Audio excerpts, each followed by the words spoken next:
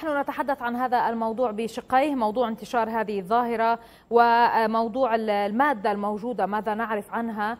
عبر الهاتف ينضم إلينا من جدة تنضم إلينا استشارية تغذية إيمان الأيوبي رئيسة قسم التغذية في جمعية تعزيز الصحة من بيروت. ينضم إلينا أيضا عبر الهاتف دكتور تيسير حمية مدير مختبر الأبحاث العلمية. عميد كلية زراعة في الجامعة اللبنانية سابقا. مساء الخير أهلا بكم معي. نبدأ بسيدة إيمان. آه، بالنسبة لانتشار هذه الظاهرة اليوم إلى أي درجة هي منتشرة؟ ممكن أن نتحدث وكنسب وعن أي دول أكثر من غيرها.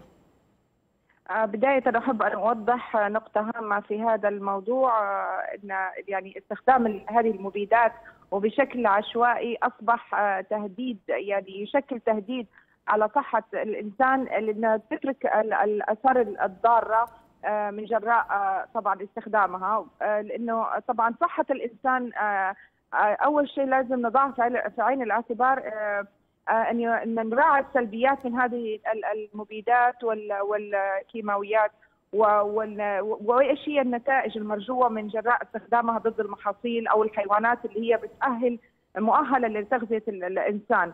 يعني إنه استخدامها بأي نسبة بشكل بشكل طبعا تأثير تراكمي على صحة الإنسان وبسبب أضرار من أضرار يعني وخيمة زي فقدان الذاكرة، شلل الجهاز التنفسي، ضعف في جهاز المناعة، الحساسية، ارتفاع في ضغط الدم، تلف الجهاز العصبي المركزي، والإصابة بالسرطان وكمان انهيار طبعا زي ما تفضلت من الماده اللي رشوها يعني في في هذه الأخبار هي وظائف الكبد والخلل الهرموني طبعا.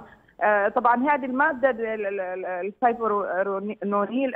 الفايبرونيل أيوه طبعا بتؤدي لحدوث أضرار في الكبد والغدة الدرقية عند البشر إذا تعرضوا في كميات كافية. طبعا لأن الضرر في المبيد اللي بيستخدموه للتخلص من الحشرات والميكروبات العالقة بالبيض أو الدجاج في هذه المزارع.